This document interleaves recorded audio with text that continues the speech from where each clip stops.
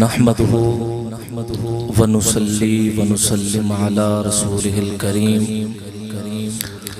अम्मा बाद फ़अऊज़ु बिल्लाहि मिनश शैतानिर रजीम बिस्मिल्लाहिर रहमानिर रहीम इहदिनस सिरातल मुस्तकीम सिरातल लज़ीना अनअमत अलैहिम आमनतु तो बिल्ला ही सदक रसूलुहुन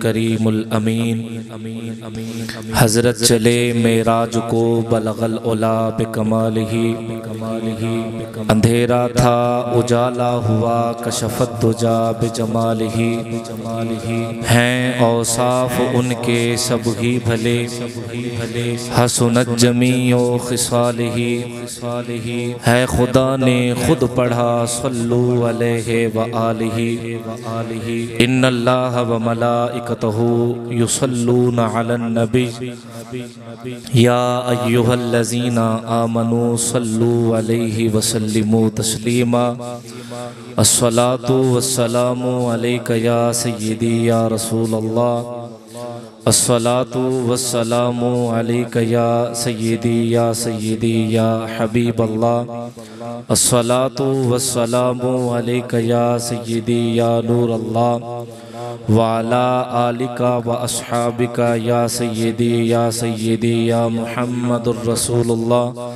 सल्लल्लाहु अलैहि वसल्लम। सारा जहाँ है उसका, जो मुस्कुराना सीख ले। सारा जहाँ है उसका, जो मुस्कुराना सीख ले। रोशनी है उसकी जो शम्मा जलाना सीख ले, हर राह में, हर गली में, हर राह में, हर गली में मसाजिद है इकबाल, पर खुदा है उसका जो सर झुकाना सीख ले। नामे मोहम्मद से, नामे मोहम्मद से खुशबू वफा आती है। उनके रोज़े से उम्मती उम्मती की सदा आती है। काश हम बैठे हों मदीने की गलियों में हमने सुना है वहाँ जन्नत की हवा आती है। हमने सुना है वहाँ जन्नत की हवा आती है। कोई भी कहीं भी नबी को पुकार सकता है। नबी सभी का मुकद्दर सवार सकता है। कोई भी कहीं भी नबी को पुकार सकता है। नबी सभी का मुकद्दर सवार सकता है। करम उसका कि वो उतरा मक्का में। करम उसका वो उतरा मक्का में। वो तो अपने घर में काबा उतार सकता है। करोड़ सजदे करोड़ सजदे, काफ़ी नहीं माशर में, बस नबी का प्यार ही पुल से गुजार सकता है। नबी का प्यार ही पुल से गुजार सकता है। मोहतरम सामीन हाजिरीन, आप आप अहबाब के सामने, मैंने कुरान मजीद फुरकान हमीद में से एक छोटी सी आयत करीमा तिलावत करने का शर्फ हासिल किया। अल्लाह तबारक वाली की बारगाह में दुआ है कि अल्लाह तबारक वाली मुझे हक सच बयान करने की तोफ़ीकता फरमाए। आपको मुझे सुन सुना के इसके ऊपर अमल करने की भी तोफ़ीकता फरमाए। हर इंसान, हर बंदा जब नमाज़ पढ़ने के लिए आता है तो ये जो मैंने आयत करीमा पढ़ी है, वो हर नमाज़ में, चाहे फ़राइज की नमाज़ हो, नवाफिल हो या वाजिब हो, या सुन्नत हो, हर नमाज़ में हम ये दुआ करते हैं इह दिन मुस्तकीम, या अल्लाह हमें सीधा रास्ता दिखा। अब ये तो दुआ हम करते हैं कि या अल्लाह हमें सीधा रास्ता दिखा। रास्ता सीधा कौन सा है? और अल्लाह की लारायब किताब कुरान मजीद फुरकान हमीद से पूछते हैं। ए लारायब किताब, बेऐब किताब, हमें बता, सीधा रास्ता कौन सा है? तो कुरान कहता है ए बंदे, आ तो सही, मुझे खोल तो सही, पढ़ तो सही, फिर मैं बताऊँगा कि कौन सा सीधा रास्ता है। हम दुआ करते हैं इह दिन मुस्तकीम, या अल्लाह हमें सीधा राह दिखा। जब अगली आयत पढ़ेंगे, सिरात अल्लजीना अलैहिम। आप और मैं ये दुआ करते हैं कि या अल्लाह, हमें उन लोगों का रास्ता दिखा जिनके ऊपर तेरा इनाम हुआ। हमें उन लोगों का रास्ता दिखा जिनके ऊपर तेरा इनाम हुआ। अब इनाम याफ्ता लोग कौन हैं? ये भी कुरान से पूछ लेते हैं ए कुरान हमें बता, इनाम याफ्ता लोग कौन हैं? तो कुरान कहता है हाँ हाँ मुझसे पूछ, पूछना तेरा काम है, जवाब देना रब्बुल आलमीन की लराइब किताब का काम है। कुरान कहता है, पढ़, अनअमल्लाहु अलैहिम मिनन वश्शुहदा वस्सालिहीन कुरान कहता है, वो इनाम याफ्ता चार अजीम हस्तियाँ हैं। ए कुरान बता कौन कौन सी अजीम हस्तियाँ हैं? कुरान कहता है एक जमात है अंबिया कराम की, एक जमात है सिद्दीकीन की, एक जमात है शुहदा की और एक जमात है अल्लाह के नेक बंदों की। एक जमात है अल्लाह के नेक बंदों की। कौन से नेक बंदे?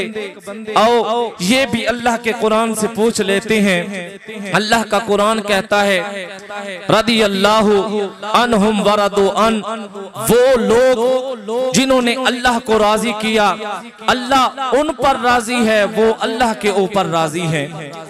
अब देखो, सैयद जलालुद्दीन बुखारी ताला आपने अल्लाह और उसके रसूल को राज़ी किया तो आज जलालुद्दीन बुखारी बने और पीर सियाल ने अल्लाह उसके रसूल को राज़ी किया तो पीर सियाल बने, पीर मेहर अली शाह ने अल्लाह उसके रसूल को राज़ी किया, मेहरे अली बने, जनाबे वाला दाता अली हजवेरी ने अल्लाह उसके रसूल को राज़ी किया तो मकाम क्या मिला?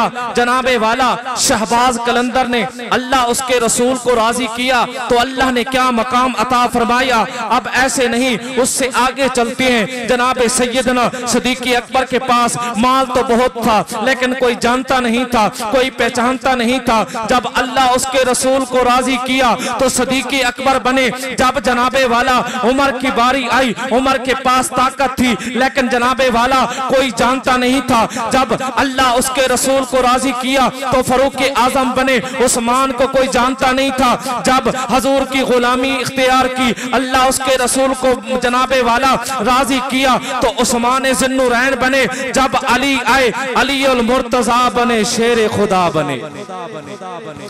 अली मुर्तजा बने शेर खुदा बने। हज़रत मोहतरम हदीस पाक में आता है।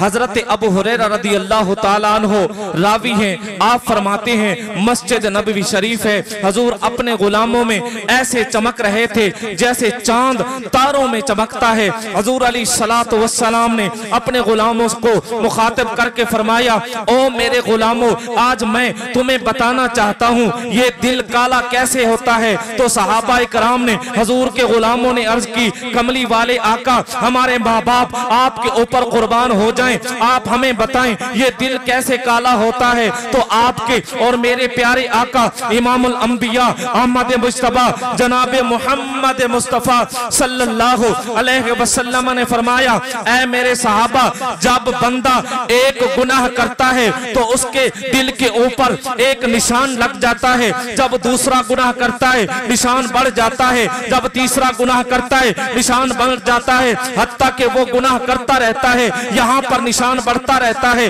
वो गुनाह करता रहता है, निशान बढ़ता रहता है। जब दिल काला हो जाता है तो उस वक्त ना ज़िक्र खुदा का पता चलता है, ना ज़िक्र मुस्तफ़ा का पता चलता है, ना सैदना सदीक अकबर की सदाकत का पता चलता है, ना उमर की अदालत का पता चलता है, ना उस्मान के हया का पलता चलता है, ना अली मुर्तजा की विलायत का पता चलता है। पता कब चलता है? सहाबा इकराम ने अर्ज़ की तो आपके मेरे प्यारे सलात सलाम ने फरमाया, पता उस वक्त चलता है जब दिल बंदे का साफ़ होता है। तो सहाबा ने अर्ज़ की, या रसूल अल्लाह ये दिल साफ़ कैसे होता है? तो आपके और मेरे प्यारे आका, इमामुल अंबिया, अहमद मुश्तबा जनाब मोहम्मद मुस्तफ़ा सल्लल्लाहु अलैहि वसल्लम ने इरशाद फरमाया, जब बंदा ज़िक्र खुदा करता है और साथ ही ज़िक्र मुस्तफ़ा करता है, अल्लाह अपने ज़िक्र के सदके और महबूब के ज़िक्र के सदके बंदे के दिल को ऐसे साफ़ कर देता है, ऐसे पाक कर देता है जैसे बच्चा माँ के पेट से पैदा होता है। एक दफ़ा का ज़िक्र है, हज़रत अली मुर्तजा नमाज़ पढ़ने के लिए जा रहे थे तो कुछ काफरों ने आपस में मशवरा किया कि आज ऐसा करते हैं। अली से इतने सवाल पूछेंगे, अली हमें जवाब देंगे, लेकिन ताखीर हो जाएगी। वो जवाब इतनी देर तक देंगे, नमाज़ का टाइम गुजर जाएगा। तो उन्होंने जनाबे वाला मशवरा किया। अब हज़रत अली पाक मस्जिद की तरफ़ आ रहे थे। वो मस्जिद के बाहर खड़े थे। उन्होंने हज़रत अली को देखा। तो उन्होंने कहा, अली, हमने आपसे कुछ सवाल पूछने हैं। हज़रत अली पाक ने कहा, पूछो, मैं तुम्हें जवाब दूँगा। उन्होंने कहा, अली, एक दो सवाल नहीं, तीन सवाल नहीं, बल्कि हमारे बहुत ज़्यादा सवाल हैं। आप उनका हमें जवाब इसी वक्त दीजिए। तो हज़रत अली पाक ने ये नहीं कहा, मैं नमाज़ पढ़ के आता हूँ, फिर आपके सवालों का जवाब दूँगा। हज़रत अली मुर्तजा ने मुस्कुरा के कहा, जितने सवाल करने हैं, सवाल करना तुम्हारा काम है। जवाब देना मोहम्मद मुस्तफ़ा के वीर अली का काम है। सवाल करना तुम्हारा काम है। जवाब देना मेरा काम है। उन्होंने कहा, अली, हमें कुछ सवालों के जवाब दीजिए। जो एक है, वो दो नहीं हो सकते। जो दो हैं, वो तीन नहीं हो सकते। जो तीन हैं वो चार नहीं हो सकते जो चार हैं वो पाँच नहीं हो सकते जो पाँच हैं वो छह नहीं हो सकते जो छह हैं वो सात नहीं हो सकते जो सात हैं वो आठ नहीं हो सकते जो आठ हैं वो नौ नहीं हो सकते जो नौ हैं वो दस नहीं हो सकते जो दस हैं वो ग्यारह नहीं हो सकते जो ग्यारह हैं वो बारह नहीं हो सकते जो बारह हैं वो तेरह नहीं हो सकते और उन्होंने कहा अली हमें एक और सवाल का भी जवाब दीजिए वो कौन से जानवर हैं जो अंडे देते हैं, वो कौन से जानवर हैं, जो बच्चे देते हैं? जब उन्होंने इतने सारे सवाल किए, अब कहने लगे, अली, हमें जवाब दीजिए। जब हज़रत अली मुर्तजा ने सुना तो हज़रत अली पाक मुस्कुराकर कहने लगे, अगर कोई और सवाल है, वो भी कर लो, उनके भी मैं जवाब देकर जाऊँगा। उनके भी जवाब देकर जाऊँगा। वो नहीं जानते थे, बदबखत, ये कौन है? ये वो अली है जिसके मुतालिक आपके और मेरे अकाली सलात सलाम ने फरमाया, अना मदीनतुल इल्मी व अली जनबाबुहा मैं इल्म का शहर हूँ। अली उसका दरवाज़ा है। वो लानती ये नहीं जानते थे, ये कौन अली है? वो अली है जिसके मुतालिक आपके और मेरे प्यारे आका ने फरमाया, मन कुन तो मौला, फहाजा अली मौला, जिसका मैं मौला, उसका अली मौला। और ये, और वो लोग ये भी नहीं जानते थे, ये कौन है? जिसके मुतालिक आपके और मेरे प्यारे आका ने फरमाया, अली का ज़िक्र करना भी इबादत है, अली का नाम लेना भी इबादत है। अली का ज़िक्र करना भी इबादत है, अली का नाम लेना भी इबादत है। जब हज़रत अली पाक ने सुना तो हज़रत अली पाक मुस्कुराने लगे। हज़रत अली पाक ने कहा, अगर कुछ और सवाल हैं तो वो भी बताएँ, मैं उनके भी जवाब दूँगा। उन्होंने कहा, या अली बस इतने सवाल हैं, इनके जवाब दो। अब हज़रत अली मुस्कुरा भी रहे थे, उनको जवाब भी दे रहे थे। अब हज़रत अली पाक ने कहा, जो है एक, वो दो नहीं सकते। वो है अल्लाह की जात, अल्लाह एक है, दो नहीं हो सकते। खुदा एक है वहदहू ला शरीक है। और जो दो हैं, वो दिन और रात हैं। ये तीन नहीं हो सकते। और जो तीन हैं, एक है लोहो, एक है कलम, एक है कुर्सी, ये चार नहीं हो सकते। और जो चार हैं, वो जनाबे वाला आसमानी किताबें हैं। एक का नाम है इंजील, दूसरी का नाम है जनाबे वाला तुराक तीसरी का नाम है जबूर, चौथी का नाम है कुरान मजीद। ये चार किताबें हैं, पाँच नहीं हो सकती। जो पाँच हैं, वो छह नहीं हो सकती। पाँच नमाजें हैं, नमाजें पाँच फ़र्ज़ हैं, छह नहीं हैं। जो छह हैं, छह दिन में अल्लाह तबारक वाली ने ज़मीन आसमान को तखलीक फरमाया, ये छह दिन है, सात नहीं हो सकते। और जो सात हैं, वो सात हफ़्ते के दिन हैं, आठ नहीं हो सकते। और जो आठ हैं, वो अल्लाह तबारक वाली ने वो फरिश्ते मुकर कर दिए हैं, जिन्होंने जनाबे वाला अजल से लेकर अब तक आसमान को उठाए रखा हुआ है। वो आठ फरिश्ते हैं, नौ नहीं हो सकते। और जो नौ है, वो जनाबे वाला हज़रत सलाम के फसादी लोग थे। वो नौ थे, दस नहीं हो सकते। जो दस हैं, वो कामिल रोज़े हैं, वो ग्यारह नहीं हो सकते। जो ग्यारह हैं, वो हज़रत जनाबे वाला यूसुफ अली सलात सलाम के भाई ग्यारह थे, बारह नहीं हो सकते। और जो बारह है, वो साल के महीने हैं, वो तेरह नहीं हो सकते। और वो कौन से जानवर हैं जो अंडे देते हैं और कौन से जानवर हैं जो बच्चे देते हैं? हज़रत अली पाक मुस्कुरा भी रहे थे और फरमा भी रहे थे कि वो जानवर जिनके कान अंदर होंगे, वो अंडे देंगे, जिनके कान बाहर होंगे, वो बच्चे देंगे। जिनके कान अंदर होंगे, वो अंडे देंगे और जिनके कान बाहर होंगे, वो बच्चे देंगे। अब हज़रत अली मुस्कुरा भी रहे थे। जवाब दे के हज़रत अली पाक चले गए। हज़रत अली पाक ने नमाज़ अदा फरमाई। अब नमाज़ अदा फरमाने के बाद हज़रत अली जब वापस आए तो हज़रत अली ने देखा वो गिन रहे थे, फला जानवर फला जानवर फला जानवर फला जानवर। हज़रत अली पाक चले गए। जब दूसरी नमाज़ के लिए आए तो वो लोग जिन्होंने सवाल किए थे, वो गिनती कर रहे थे। अब हज़रत अली पाक दूसरी नमाज़ पढ़ने के लिए आए। जब नमाज़ पढ़ के जाने लगे, वो गिनती कर रहे थे। जब जनाबे वाला तीसरी नमाज़ पढ़ने के लिए आए तो हज़रत अली पाक नमाज़ पढ़ के जाने लगे। वो लोग गिनती कर रहे थे।